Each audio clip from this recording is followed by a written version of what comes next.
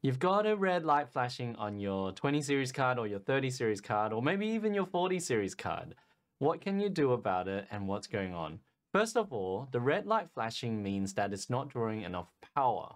And this often happens when people build their own computers or maybe you went to a place and they've built it not too well for you because they don't know about newer graphics cards and they've just put in one cable and they've split it or they've put in two cables and they've split that. Some cards require three cables. Let's have a look over here. Here you can see the three cables going into the power source for this RTX 3080 and you'll notice that there are other cables coming out of this particular bundle. But if your card is a newer graphics card and has more plugs, it's highly recommended that you use one cable per plug. If you split it, you might not be able to have enough power for your card. And when that happens, it will either flash red or it will just stay red, just to say that there is no power source going in there at all.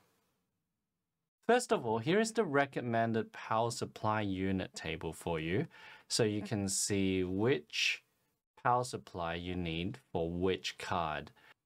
If you build your computer and it doesn't have enough power, you might run into power supply issues. And in this case, you might get that red flashing light or a red light. Here are some power supply units that I really like to use. And you can see a lot of them are what you call modular. So for example, this one here, you can see there are no cables coming out and they supply you with the modular cable so that you can plug it in yourself. And this makes cable management a lot neater. And also you can customize your own cables if you want a better look. Over here, you can see this particular one comes with a built-in um, motherboard power supply. And then there are some modular cables here. If you are going to build your own computer and you're going to put in a pretty new hefty graphics card that has a lot of power draw, you might want to consider a power supply that actually can bring you the three cables. Some power supplies, especially the lower power wattage ones, won't have enough cables for you because you'll be needing them for other parts of the motherboard and the different parts of the computer.